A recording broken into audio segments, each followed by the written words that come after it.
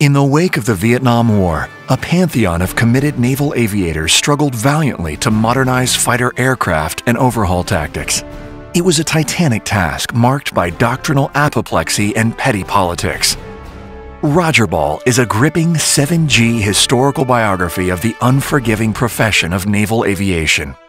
It tells of the raw courage of naval aviators operating from aircraft carriers and captures the personal sacrifice, visceral loyalty, and the unsinkable camaraderie that is the brotherhood of naval aviation. This is the odyssey of one of those naval aviators, Captain Hawk Smith. It chronicles his quest to help make naval fighter aviation the world's most formidable and lethal air combat force in the world.